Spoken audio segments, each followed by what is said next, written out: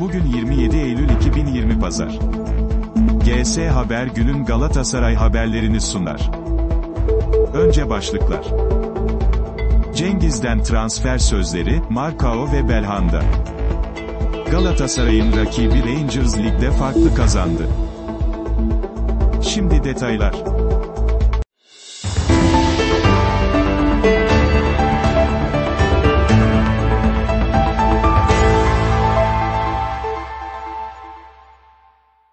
A Spor. Cengiz'den transfer sözleri, Markao ve Belhanda. Galatasaray Başkanı Mustafa Cengiz, Süper Lig'in 3. haftasında karşılaşacakları Fenerbahçe derbisi öncesi açıklamalarda bulundu. Transfer konusuna da değinen Cengiz, Markao ve Belhanda iddialarına da açıklık getirdi. Galatasaray Başkanı Mustafa Cengiz, Fenerbahçe derbisi öncesinde açıklamalarda bulundu. TV bu spora konuşan Cengiz, derbide hakem faktörünün ön plana çıkmamasını diledi.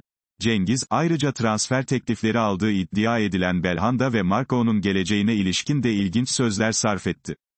Cengiz'in açıklamalarından satır başları şöyle. Bütün branşlarda kendine yeten bir mali yapılanma içindeyiz. Bankalar Birliği ile yeniden yapılandırmanın yeniden yapılandırmasında amatör şubelerin kendine yetmesini istiyorlar.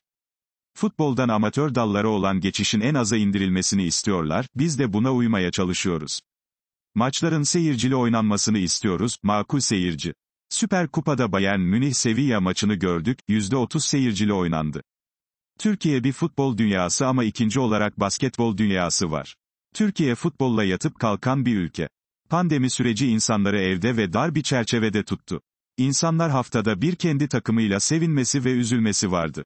İnsanların üzüntüleri maalesef sevinçten fazla sürüyor, yaratılıştan herhalde. Sevinince salı gününe kadar, üzülünce perşembeye kadar sürüyor. Dünyada ilk 5'e giren bir derbi. Fenerbahçe derbisi çok değerli bir derbi, dünyanın sayılı derbilerinden. Dünyada ilk 5'e giren bir derbi. İnsanların çok fazla üzülmemesini dilerim kendi açımızdan ve rakip açısından. Hak edenin kazanmasını dilerim. İnşallah hakem faktörünün, fiziki sakatlanma şartlarının en aza indiği, kran krana bir maç olmasını ve hak edenin kazanmasını dilerim ve bu hak edenin de Galatasaray olmasını yürekten dilerim. Rakibimiz ne kadar güçlü ve düzgünse, biz o kadar güçlü ve düzgünüz. İnşallah hayırlısıyla galip geleceğimiz bir derbi olur. Belhanda ve Markao sorusuna ilginç cevap. Mustafa Cengiz, Belhanda ve Markao hakkındaki soruya ise, her kızın 40 isteyeni olur, bir tanesi alır. Bu bağlamda buralara girmek istemiyorum, yanıtını vererek transfere açık kapı bıraktı.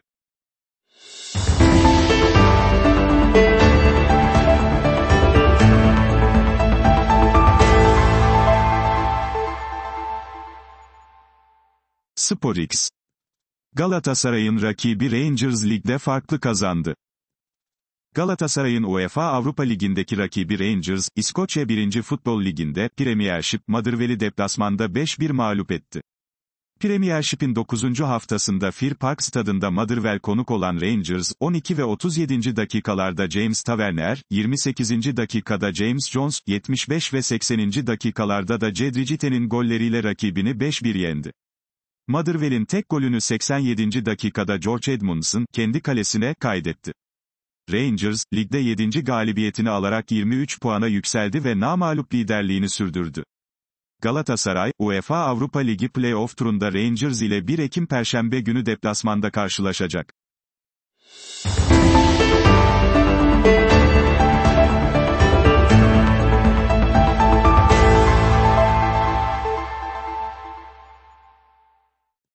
GS Haber günün Galatasaray haberlerini sundu.